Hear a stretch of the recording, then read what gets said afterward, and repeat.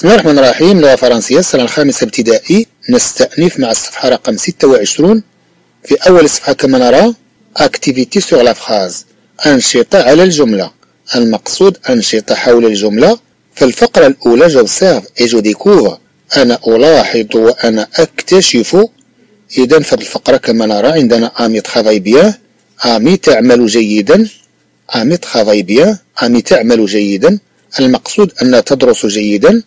Elle est toujours la première de sa classe هي دائما الأولى في قسمها Elle est toujours la première de sa classe هي دائما الأولى في قسمها يعني أنها دائما تجي الأولى في القسم ديالها Elle est toujours la première de sa classe ثم عندنا pour son anniversaire pour son anniversaire بالنسبة لعيد ميلادها أو من أجل عيد ميلادها son père va lui offrir son père va lui offrir اباها سيمنحها son père va lui offrir اباها سيمنحها le verbe offrir هو فعل منحه son père va lui offrir اباها سيمنحها اذا قلنا مثلا son père va offrir اذا قلنا مثلا son père va offrir un très beau cadeau يعني اباها سيمنح هديه جد جميله وإذا قلنا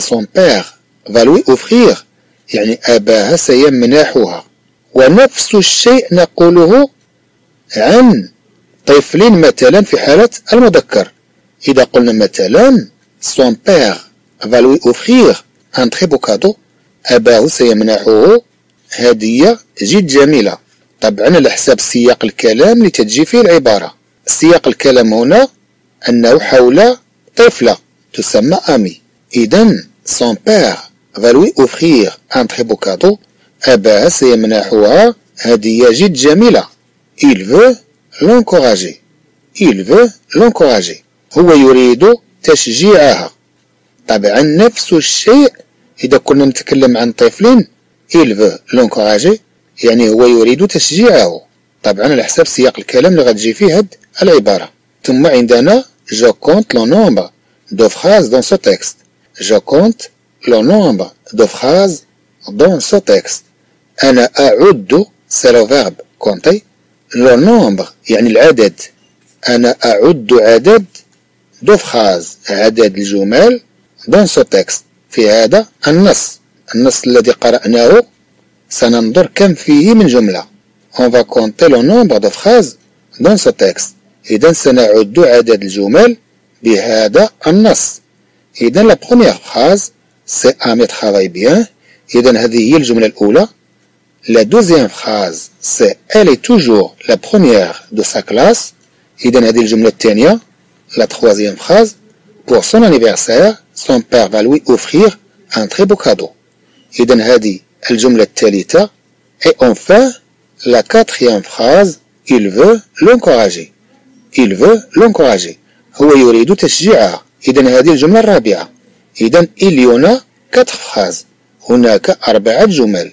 ثم عندنا je souligne le verbe de chaque phrase. أنا أسطر فعل كل جملة. المقصود أنني أسطر على فعل كل جملة. je souligne le verbe de chaque phrase. أنا أسطر فعل كل جملة. si nous prenons la première phrase où le verbe le verbe c'est travail. C'est le verbe travailler. on va souligner travail إذا سنسطر على travail pour la deuxième phrase elle est toujours la première de sa classe. Elle est toujours la première de sa classe. Et donne où est le verbe dans cette phrase Où est le verbe dans cette phrase أين هو الفعل في هذه الجملة Bien sûr le verbe c'est est c'est est إذا الفعل هو est c'est le verbe être هذا فعل être نقول je suis tu es il est est أيضا نقول est كما عندنا هنا. إذا نقول est أو نقول كما عندنا هنا elle est. يعني هي. elle est toujours la première de sa classe هي دائما. طبعا هاد أي هاد ألي عندنا هنا. راه كما لو نقول هي تكون دائما الأولى في قسمها. راه ملي تنقولوا هي دائما الأولى في قسمها في اللغة العربية ما تيبانش هاد كان. ملي تنستعملوه في الحاضر. في اللغة الفرنسية يبقى. لنفرض بأن هذه البنت في القديم كانت تكون هي الأولى في القسم ديالها. ماذا سنقول؟ بأن كانت دائما الأولى في قسمها. إذا هنا تيبان هاد كان. في اللغة الفرنسية هاد كان هو être هنا بطبيعة الحال تنتكلم على كان كما لو نقول بأنه في ال présent. يعني كما لو أن هاد كان في الحاضر. كما لو نقول بأن هي تكون الآن الأولى في قسمها هي دائما تكون الأولى في قسمها هي دائما موجودة الأولى في قسمها إذا le verbe اللي عندنا هنا هو être on souligne est يعني أننا نسطر على أي Pour la troisième phrase, pour son anniversaire, son père va lui offrir un très beau cadeau. Bien sûr, le verbe, c'est offrir. Le verbe, c'est offrir. إذا الفعل هو offrir. فاش مصرف هاد offrir؟ مصرف في ال futur proche. في ال futur proche يعني المقصود به المستقبل القريب تنتكلم على واحد الفعل غيحصل في القريب يعني القريب جدا لا نتكلم عن le futur simple يعني المستقبل ربما على شهر أو ربما على عام أو ربما على عام أو ربما على أكثر إذا نتكلم عن le futur simple يعني المستقبل البسيط. هنا تنتكلم على le futur proche. le futur proche تتكون دائما من le verbe aller زائد الفعل المراد تصريفه في الزمن. مثلا عندنا هنا le verbe offrir تنوضعوه من بعد va اللي هو aller le verbe aller ماذا نقول؟ نقول je vais أنا أذهب tu vas أنت تذهب il va. هو يذهب va هي تذهب nous allons vous allez يعني هم يذهبون. allez يعني أنتم تذهبون. هذا هو المعنى الحقيقي ديالو. ولكن راه خاصنا نعرفوا بأن le verbe aller تيجيو من بعد منه أفعال أخرى بحال هاد الحالة اللي عندنا هنا في حالة le futur proche le futur proche تنستعملو هاد le verbe aller و تنضيفو من بعد منه الفعل اللي باغي نصرفوه في هاد الزمان باش يفيد لينا اشنو حتى نحصل على معنى بأن هذا الفعل سيحصل قريبا جدا. حتى نحصل على معنى بأن هذا الفعل سيحصل قريبا جدا. مثلا عندنا le verbe offrir ملي تنقول je vais offrir هنا استعملت le verbe aller من بعد منه le verbe offrir أش ولا المعنى؟ ولا المعنى بأنني سأمنح قريبا. اذا je vais offrir أنا سأمنح قريبا. je vais lui offrir يعني أنا سأمنحه قريبا. أو أنا سامنحها قريبا. هنا عندنا son père va lui offrir. هنا عندنا son père va lui offrir. يعني أباها أو أباه سيمنحها قريبا. un très beau cadeau هدية جد جميلة. إذا كما تلاحظوا بأن le verbe aller تيمكن تستخدم في هذا الزمان هذا اللي هو le futur proche ملي تنوضعوه وتنتبعوا له فعل آخر اللي باغي نصرفوه في هذا الزمان اللي هو le futur proche. هاد le verbe aller ما تيبقاش يعني لينا ذهب أو ذهبت أو ذهبنا أو ذهبوا بل تولي المعنى ديالو بالمقابل في اللغة العربية كما لو نقول سا. أباها سا يمنحها إذا هذا الفعل هذا إذا le verbe aller في هذه الحالة تولي يفيد لينا المعنى ديال سا. كما نقول في اللغة العربية سيمنحها سيذهب. أو مثلا سيكتب أو سأكتب أو ستكتب. تنستعملوا ال verbe aller وتنتبعوا له هذا الفعل. المراد تصريفه في هذا الزمان ملي تنوضعوا هاد التركيبة ديال le futur proche اللي تتكون من le verbe aller زائد le verbe اللي باغي نصرفوه في هاد الزمان. شكون اللي تيتصرف في الحقيقة؟ اللي تيتصرف هو le verbe aller. أما الفعل فتيبقى à l'infinitif كما عندنا هنا. اللي تيبقى يتعاود ديما وتيتصرف هو le verbe aller. اذا son père va lui offrir. ففي الحالة اللي عندنا هنا le verbe aller هو اللي يتصرف. إذا قلنا مثلا son père va au marché إذا أباها أو أباه ذهب إلى السوق. son père va au marché إذا أباها ذهب إلى السوق. ولكن ملي تيولي عندنا؟ son père va offrir un très beau cadeau تيولي هاد va تنعوضو باللغة العربية بسا. إذا son père إذا أباها va lui offrir. يعني سيمنحها أو سيمنحه في حالة الكلام عن مذكر. ان تخي بو كادو هدية جد جميلة. طبعا في الجملة سنسطر على offrir. Alors, pour la troisième phrase, on souligne le verbe offrir. Et enfin, pour la quatrième phrase, il veut l'encourager. إذا في النهاية عندنا الجملة الرابعة il veut l'encourager. Pour la quatrième phrase, on souligne veut.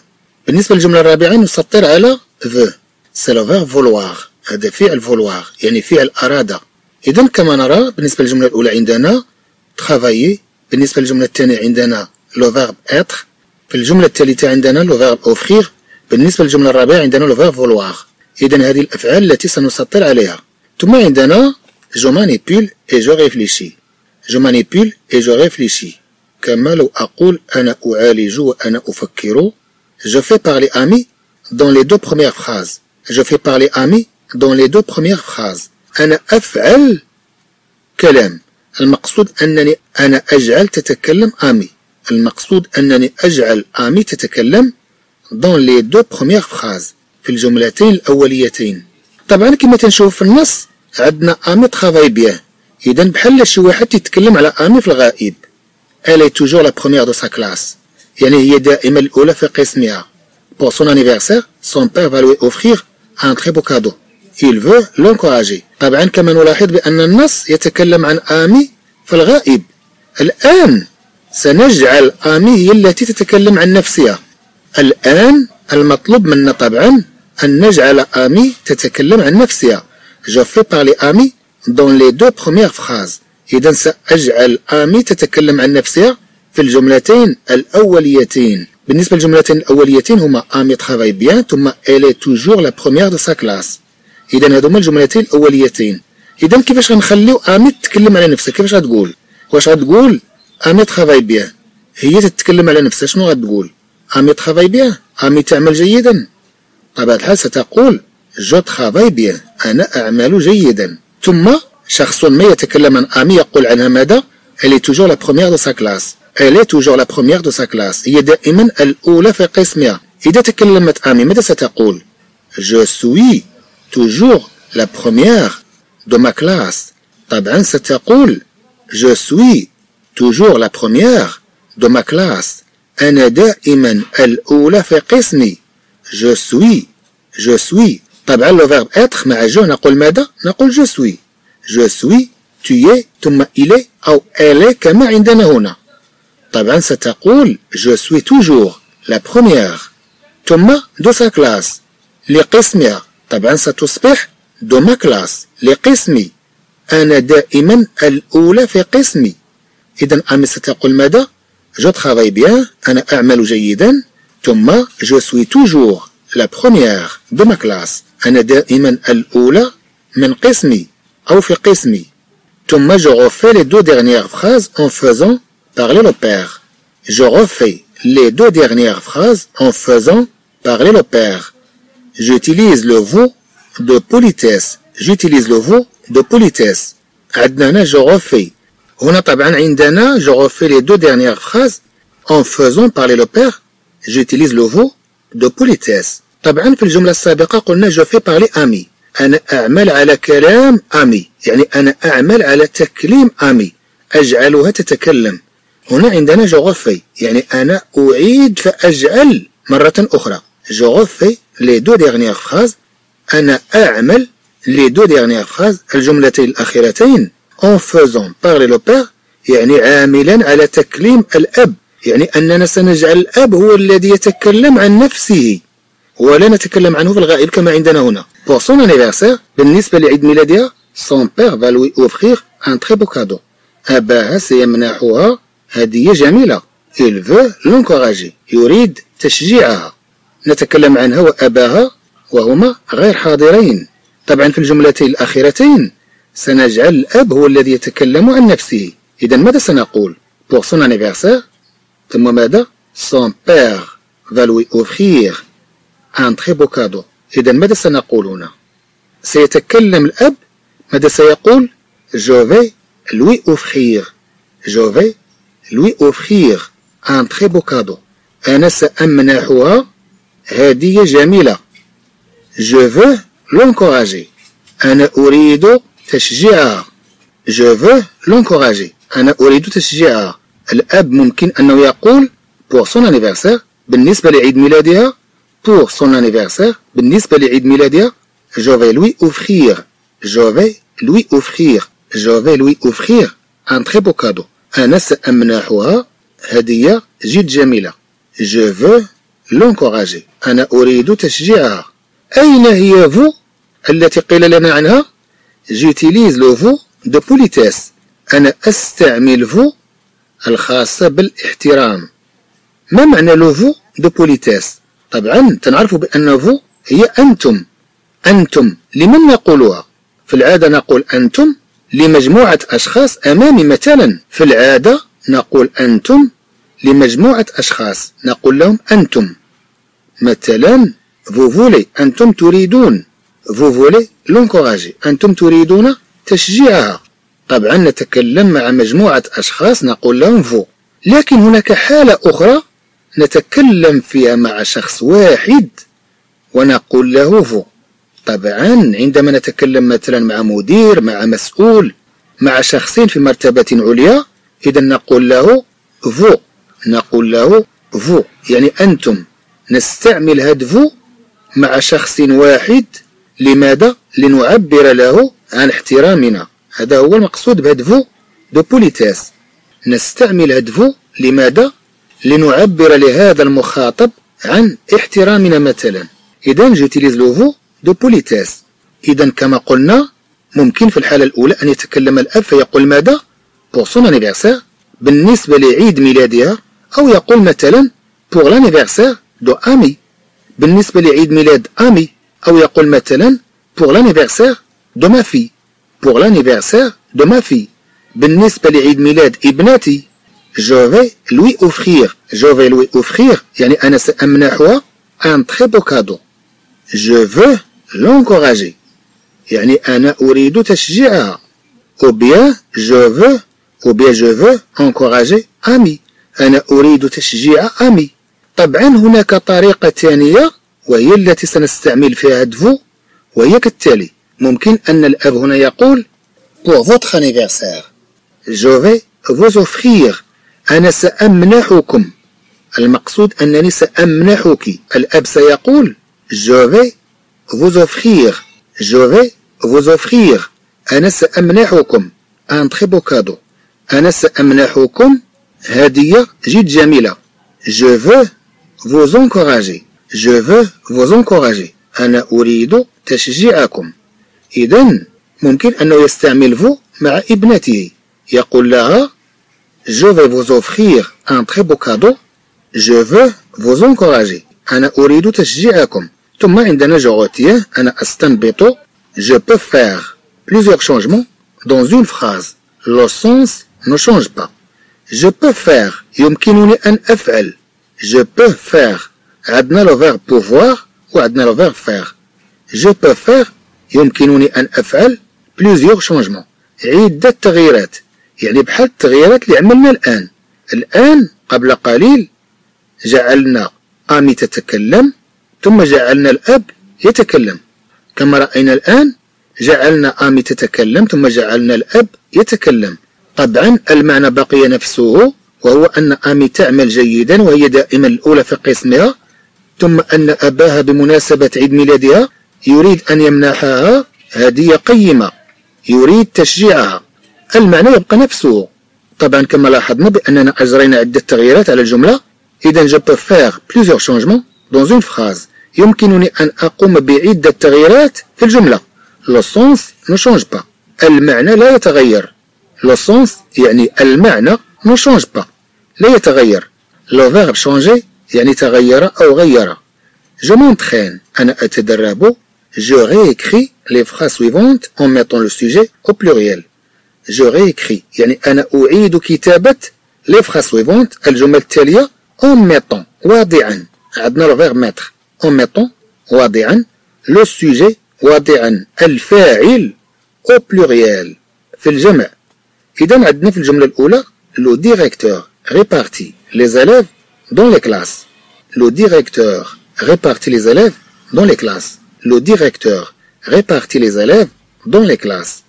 المدير يوزع التلاميذ على الأقسام.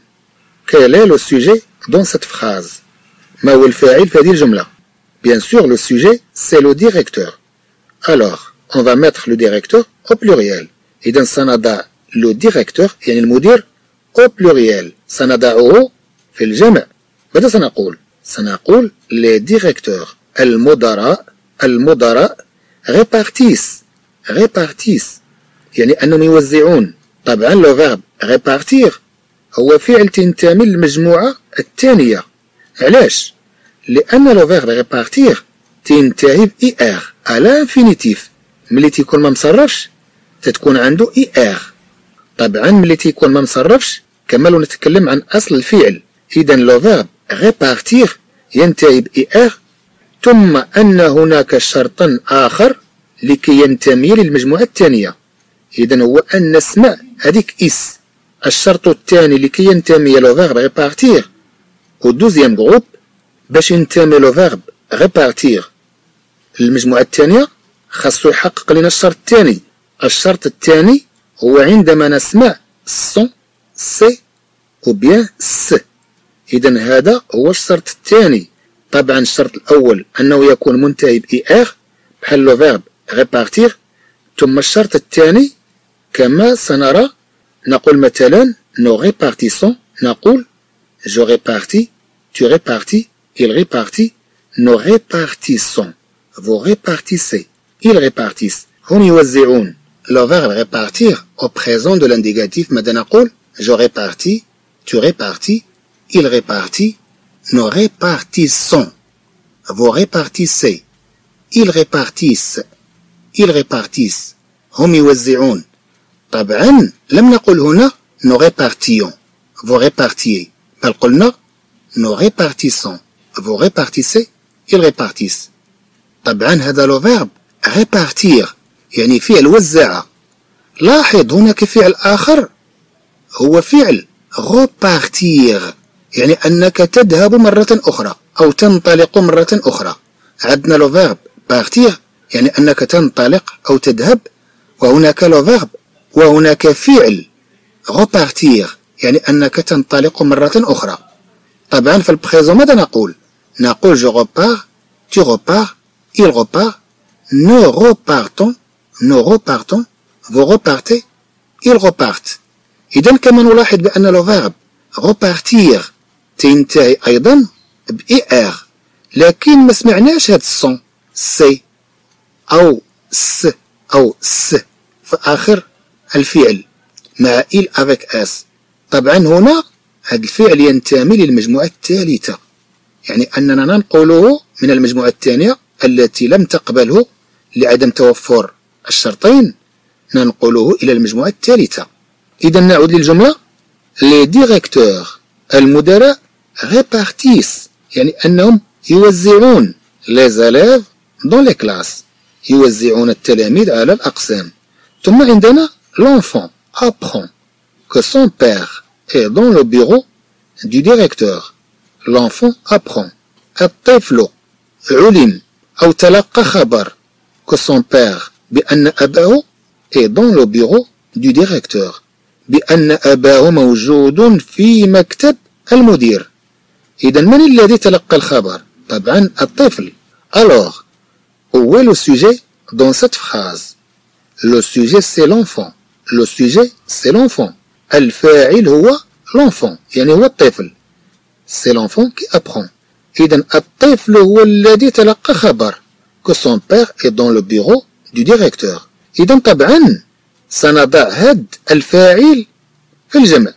عندنا حنا لونفون عندنا هاد لونفون au singulier عندنا l'enfant في المفرد on va le mettre on va mettre le sujet au pluriel إذا سنضع الفاعل في الجمع alors qu'est-ce qu'on va dire ماذا سنقول les enfants الأطفال apprennent apprennent يعني أنهم علموا طبعا لو فيرب apprendre في البريزون ماذا نقول نقول j'apprends tu apprends il apprend nous apprenons vous apprenez ils apprennent ils apprennent j'apprends mes leçons يعني أنا آخذ أو أتلقى دروسي j'apprends mes leçons يعني أنا أتلقى أو آخذ دروسي إذا عندنا لو فيرب apprendre المقصود بعلم أو تلقى شيئا تلقى خبرا تلقى درسا إلى آخره إذا هنا les enfants apprennent que leur père sont dans le bureau que leur père sont dans le bureau du directeur.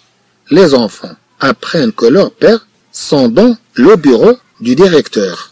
Les enfants apprennent que leur père sont dans le bureau du directeur.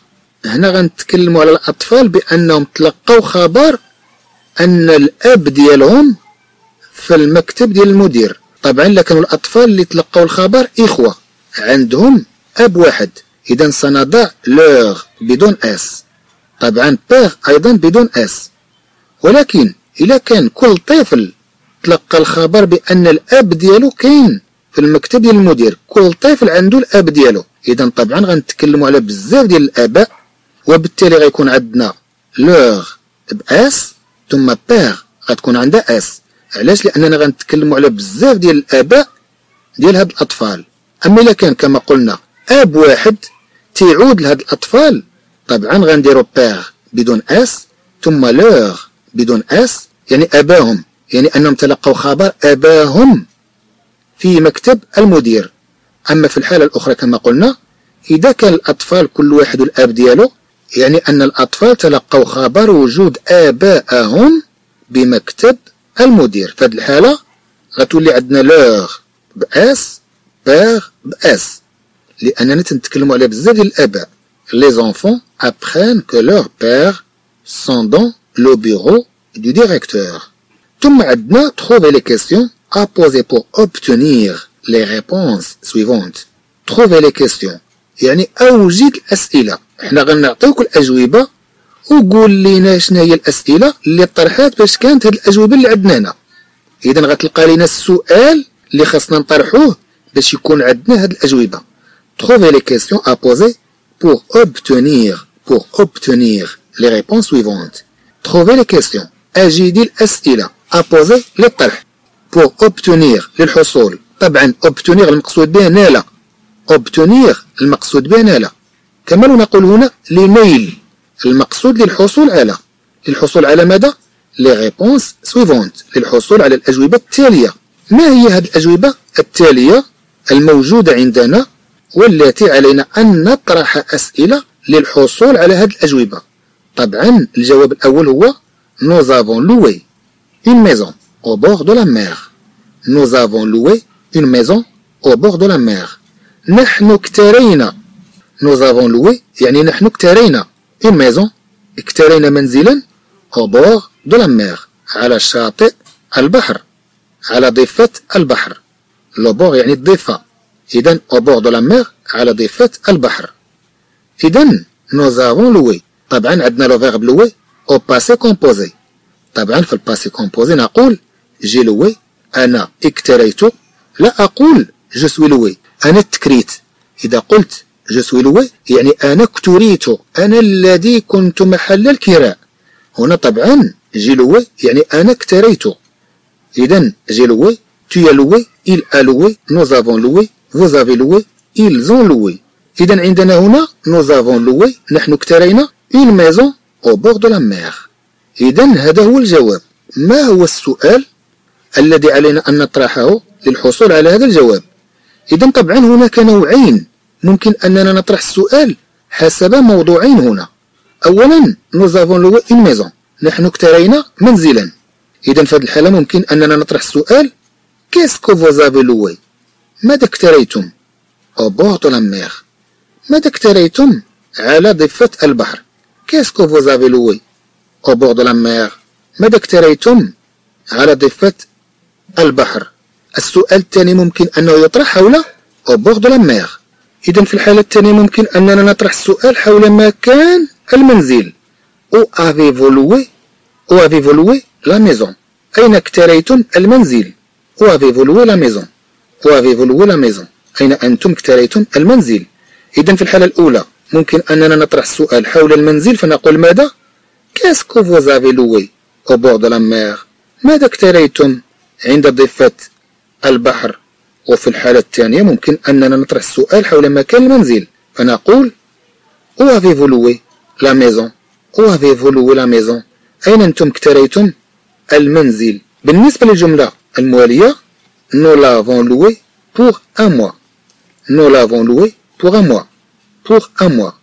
نحن اكتريناه لشهر نحن اكتريناه نحن اكتريناه لشهر هنا طبعا نفس الشيء ممكن أننا نطرح السؤال حول هذا الذي اكتريناه هنا طبعا نفس الشيء ممكن نطرح السؤال حول الذي اكترينا Qu'est-ce que vous avez loué pour un mois?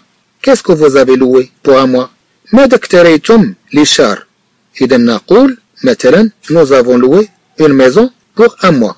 طبعا هنا عندنا الابوستروف لكي يكون عندنا هذا الجواب بالضبط ولكي يكون عندنا تحديدا هذا الجواب. طبعا يجب أن نطرح السؤال حول المدة الزمنية التي اكترينا فيها هذا الشيء الذي هو في الغالب المنزل. Nous l'avons loué pour un mois. إذا ماذا سنقول؟ Pour combien de temps vous l'avez loué؟ Pour combien de temps هو لكم من الوقت. pour combien de temps vous l'avez loué من أجل كم من الوقت أنتم اكتريتموه؟ اذا فيكون الجواب nous l'avons loué pour un mois nous l'avons loué pour un mois نحن اكتريناه لمدة شهر.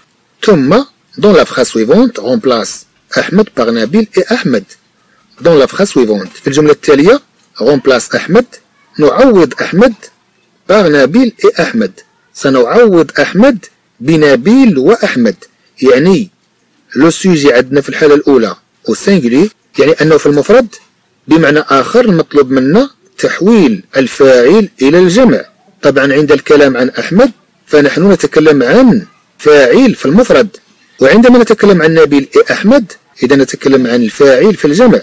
عندنا أحمد بريزون سا كوزين أسيزامي أحمد بريزون سا كوزين أسيزامي أحمد يقدم ابنة عمه لأصدقائه. سنقول في الجمع ماذا؟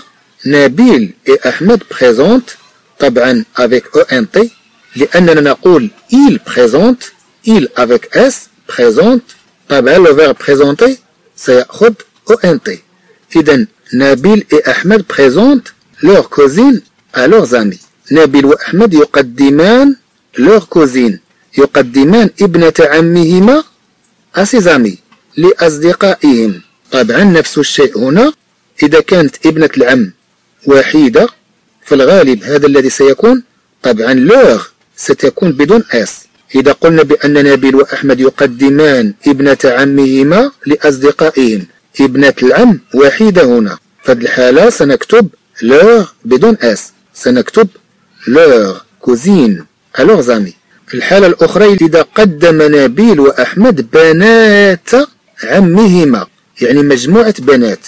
في هذه الحالة غتكون عندنا leurs ب S ثم cousines ستأخذ S. S الخاصة بالجمع إذا سنكتب نبيل et أحمد présentent leurs cousines à leurs amis أما لوغ الثانية طبعا ستأخذ أس. لماذا؟